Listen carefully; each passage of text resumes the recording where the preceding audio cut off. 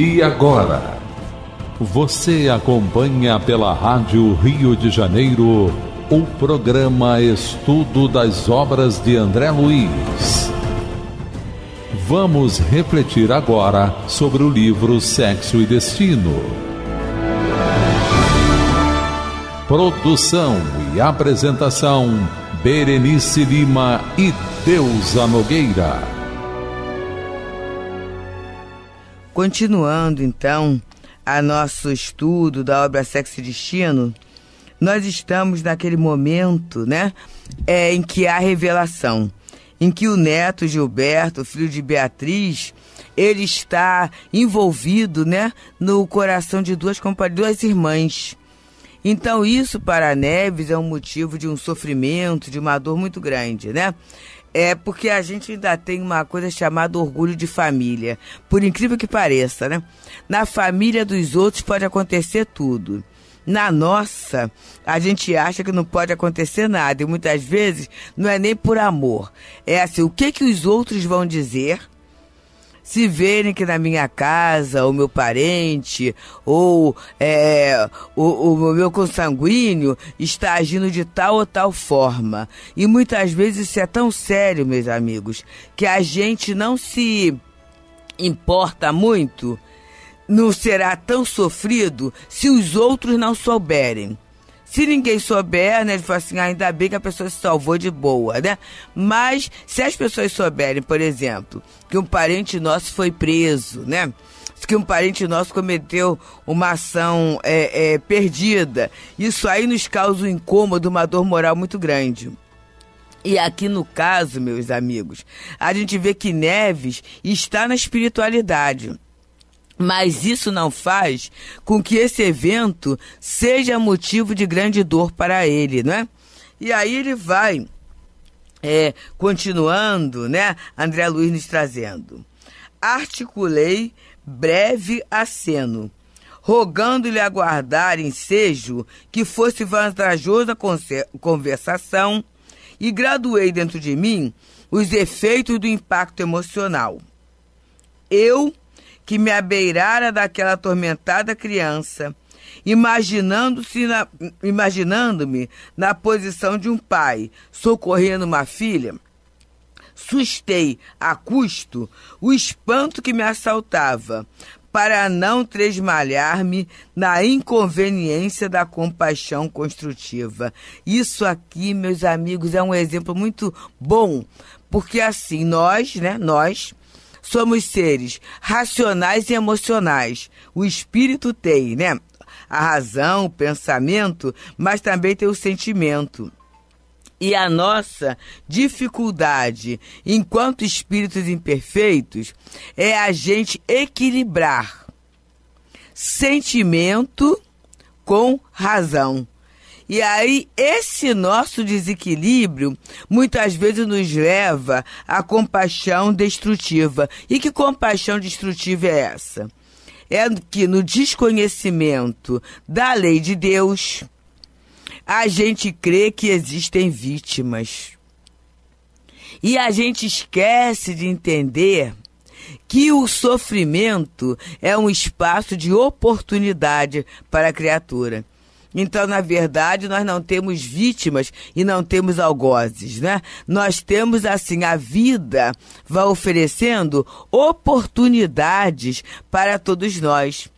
E aí, naquele momento, a gente vê que o Neves, ele está mais trabalhador, não é? Do Ministério do Auxílio, que esse companheiro que está aqui nessa obra, Sexo e Destino, nos ajudando também a entender posicionamentos, ele mesmo como trabalhador, ele está no campo dessa, dessa da emoção, né? É uma filha que está sofrendo e está sofrendo mesmo, meus amigos.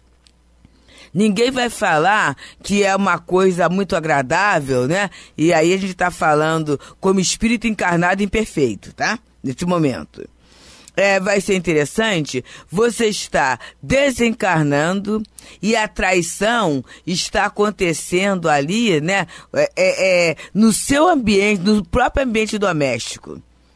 Então, Neves está olhando ali o de respeito, que é uma atitude desrespeitosa. Só para a gente entender que a gente não está aplaudindo, não.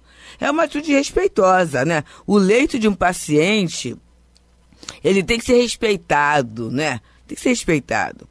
A visita ao enfermo, o assistência ao enfermo é uma situação de respeito à vida, primeiramente, ao posicionamento que se é colocado ao próprio doente, é o respeito à dor do outro, né? E na, no fundo é o respeito à lei de Deus. Então, a situação é uma situação difícil, difícil mesmo. Mas, aí tem o mais, temos Jesus. Me lembro de uma canção muito linda que é cantada pelo coral até do Lar de Teresa, uma casa também muito querida, né? E aí no final da canção é assim: temos Jesus, nós temos Jesus. Então o fato da gente ter Jesus é um, um, fator relevante na vida de todos nós, né? Nós temos Jesus. Jesus é esse parâmetro. Jesus repete a lei antiga quando ele diz, né? Fazei ao outro tudo aquilo que queirais que vos faça. Então, se eu estou numa, numa posição de doente, o que, que eu gostaria? Eu gostaria de ter um certo silêncio. Eu gostaria de ter uma atitude de boa vontade. Eu gostaria muito que me tratasse com boa vontade que disfarçassem até o incômodo que eu estou causando ao outro, né? Porque na verdade eu estou ocupando o tempo do outro, eu estou ocupando a. a, a, a eu tô, estou usando da habilidade do outro, né? Eu gostaria que isso aí não fosse me jogado assim na cara, me desculpe a expressão, né? Não fosse me cobrado isso, né? Eu gostaria até de ter momentos de alegria, porque muitas vezes eu focada na dor, eu estou sofrendo muito. Eu gostaria não é, de ter tudo isso. E muitas vezes, meus amigos, a gente, enquanto doente, a gente não tem isso, né? Até remunerado, a gente sente que é um enfado, né? Que é uma, uma dificuldade, porque a nossa posição não é o compartilhamento do, da alegria, não é o compartilhamento do melhor na hora da dor. Eu gostaria isso. E aí temos Jesus que nos diz, né? Repete a lei antiga. Fazei ao outro o que queirais que vos façam.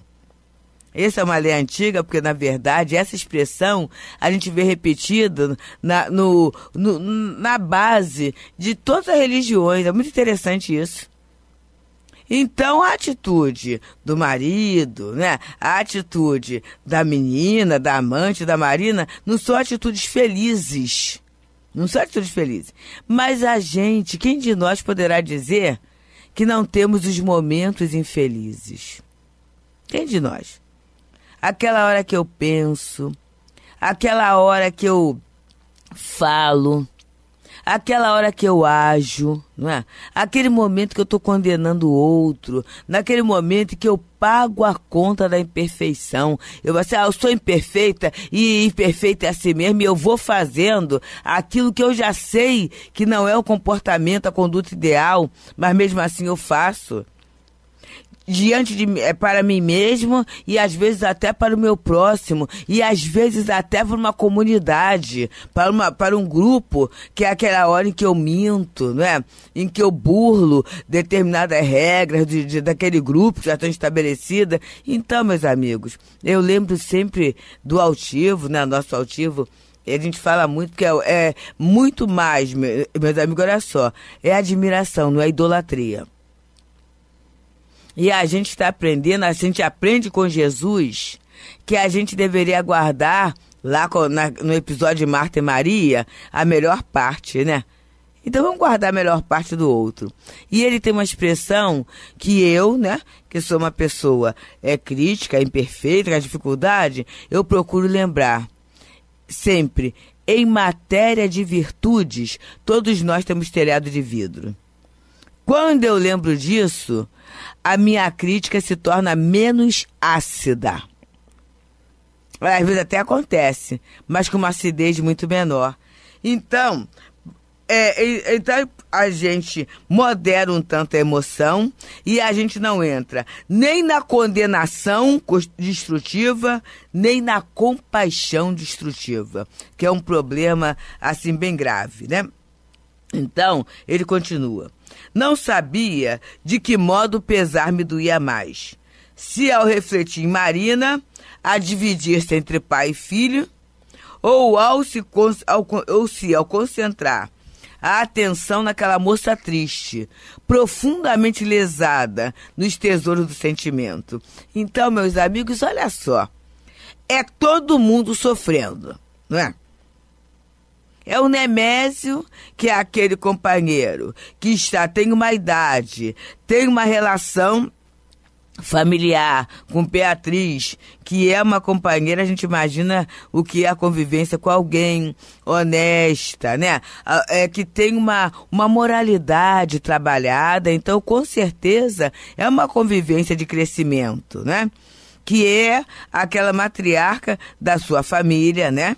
Está lá, tem aquele filho que foi cuidado, tudo isso e de repente o Nemésio se apaixona por uma menina mais nova e, e, e vive aventuras extraconjugais. Então, na verdade, meus amigos, é uma expressão muito boa. A mão que bate dói. Então, ele é alguém infeliz também. Né? Ele é alguém infeliz. Tá lá a dona Beatriz, na dor de uma doença terminal, que interfere na emoção também, né? Numa preocupação em que a empregada é, fique com uma casinha com tranquilidade. Então, uma preocupação em que ela, naquele momento, não dá para se levantar da cama e fazer. Ela depende que o outro cumpra. Então, outro quadro de dor. Temos a Marina, que é aquela companheira que está dividida, né? Que é amante e está dividida entre pai e filho. Olha que dor e que conflito que, a companheira está vivendo também. Então, na verdade, não é amor, não é? São umas situações de umas paixões, de uma emoção destrambelhada, né? Essa questão é séria. E temos a Marita na questão do pai, na questão da adoção, na questão da mãe que suicidou, né? na questão da diferença do tratamento, da, de, de comportamento da dona Márcia, né? a mãe adotiva, quando está sozinha com ela, quando está com a irmã, sofrendo ironias, sofrendo diferença, e nesse momento ela está apaixonada, comprometida, né? com um rapaz que novamente a irmã está no meio. Olha que quadro de dor. Então, ao invés de a gente falar assim, olha, mas que coisa, que prevaricação, a situação está séria ali, vamos imaginar, meus amigos, quanta dor está ocorrendo ali. E é para a gente ficar só na obra Sexo e Destino de André Luiz? Não. É para a gente começar a mudar o ponto de vista quando isso acontece, por exemplo, na nossa vida comum. Quando eu olho na televisão e começo uma série de comentários, e às vezes comentários até, que podem fazer a minha cabeça, né? E eu vivo repetindo o que o outro disse na TV o que o outro disse através do texto escrito, seja na, mi, na, na, na mídia, né? É do, do, do, das diferentes redes sociais, seja através de um jornal, de uma revista, de uma manchete que está ali através de certos comentários acerca da escolha da conduta moral do nosso irmão. Então a gente tem que parar e pensar, não é? É a cadeirinha do pensamento, seja através da situação, quando ocorre através da própria família. E quem sabe, meus irmãos, esteja acontecendo com a gente, não é? Aquele parceiro, aquela parceira, aquele filho, aquela filha, aquele parente que a gente elegeu como um grande tesouro do nosso coração, estando envolvido nessas artimanhas do sensório através do sexo. Meu Jesus, que a gente consiga ter a misericórdia e que consiga passar no nosso sentimento, no nosso pensamento, que antes de apelidarmos essa criatura com qualquer um daqueles pejorativos que existe, né, um canalha, isso aquilo, aquilo outro, que a gente pensa assim: ah, meu Deus, é uma alma sofredora. É um espírito que está sendo está é, com impedimentos de fazer a escolha no melhor, porque ele está vivendo num plano puramente do sensorial, né? Que a gente não tenha compaixão construtiva, destrutiva, diante de nenhum dos casos, que a gente consiga ter a compaixão construtiva, porque a compaixão construtiva vai nos levar à prece, que vai nos é, é, embeber de misericórdia e que vai nos levar ao perdão. E aí André Luiz continua. Estanquei no íntimo as impressões que me sensibilizavam e prossegui pesquisa adiante. Vamos pensar que o André Luiz está tendo um campo de pesquisa da situação para poder atuar com proveito. A muda confissão da jovem avançou em lembranças vivas e francas. Conhecera Gilberto há exatamente seis meses no gabinete do chefe. Olha, a Marita, né? Ela está lembrando e ele está recolhendo essas impressões. Ela prestava informações de serviço. Ele representava os interesses do próprio pai em negócios alusivos à venda de imóveis. Com que deslumbramento lhe receberam os primeiros olhares afetuosos e indagadores.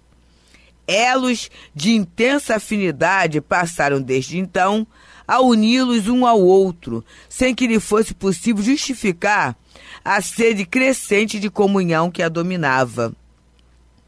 Para surpresa maior, na excursão inicial que lhe precedera a série de passeios e entretenimentos felizes, soubera satisfeita que Marina, recentemente empregada, se fizera contadora da firma em que o pai dele se destacava como sendo a figura mais importante.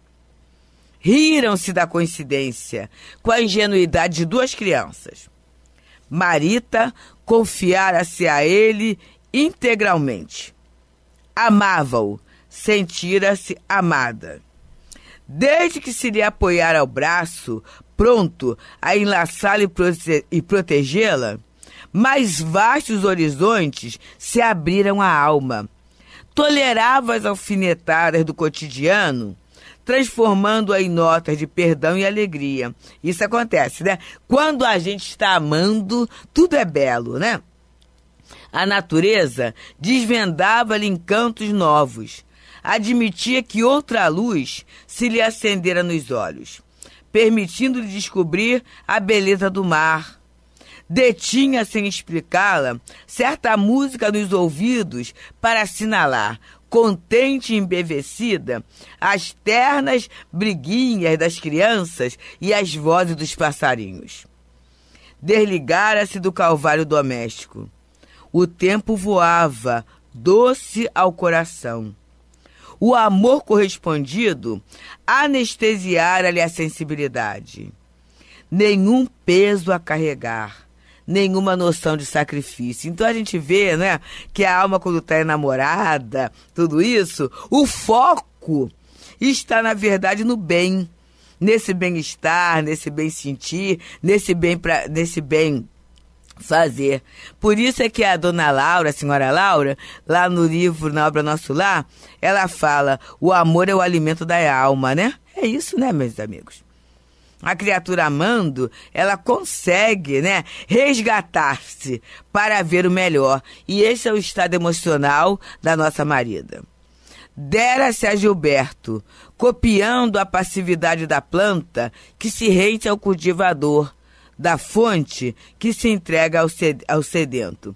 Então, nesse momento, a gente já percebe, né, que entre eles, é, é, nesse namoro, né, já houve até a comunhão sexual, né, quer dizer, eles estão assim comprometidos. E vamos pensar bem na época em que isso foi escrito, década de 40 e 50, né? O filho de Nemésio Torre prometera-lhe casamento.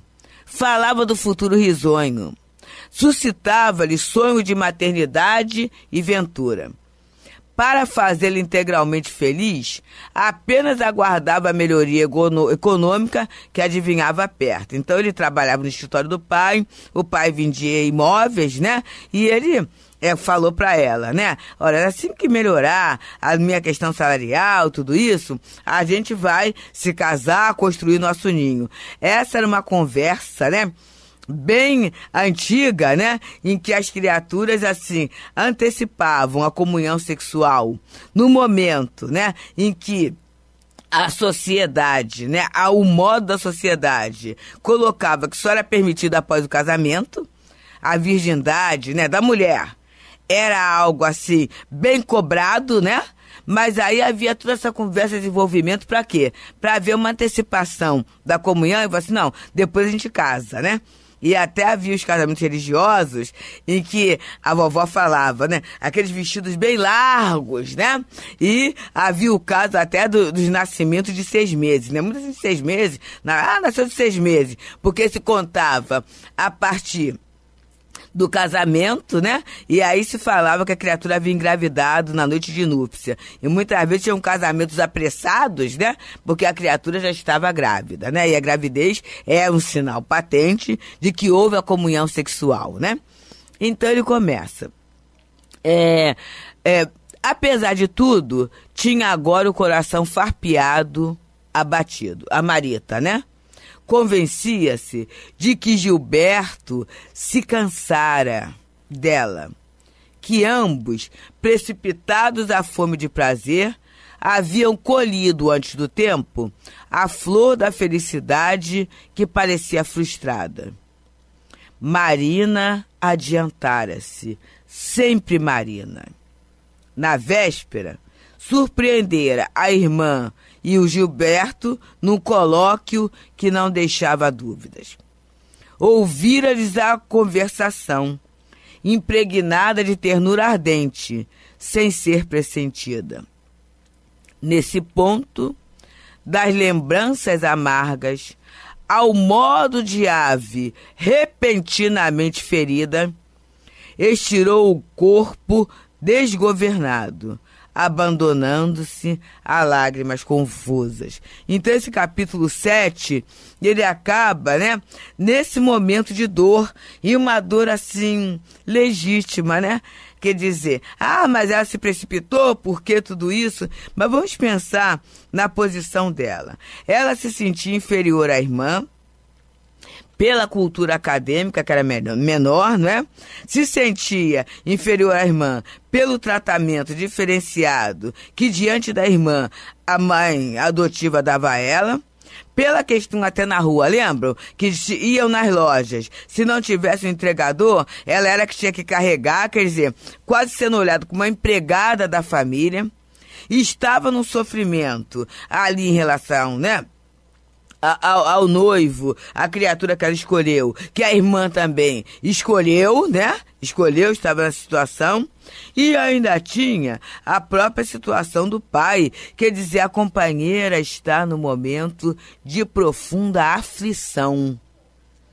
E para que seja ajudado, não na compaixão destrutiva, é o cuidado que André Luiz tem na mente ele ensina pra gente no dia de hoje, que a gente tem que ter porque essa compaixão destrutiva me, me rouba a energia para eu agir naquilo que eu posso ajudar. Então, é o nosso, né, André, ele vai fazendo o, o trabalho de levantamento da situação real. E ela, sem que perceba, quando ela começa a rememorar tudo aquilo que ela está vivendo, ela está fazendo o quê? Ela está ajudando, né? É, é André Luiz e o próprio Neves e a própria equipe, né? E o nosso próprio querido irmão Félix para que haja um auxílio eficaz. E qual é o auxílio eficaz na hora da dor, gente? É o espírito ter condições de mesmo com lágrimas, como diz Paulo, dos pés sangrando, a, os joelhos sangrando, né? E os pés desconjuntados, tudo isso, ele terá resposta como filho de Deus. Que seja essa a nossa resposta no dia de hoje. Muita paz. A Rádio Rio de Janeiro apresentou o programa Estudo das Obras de André Luiz.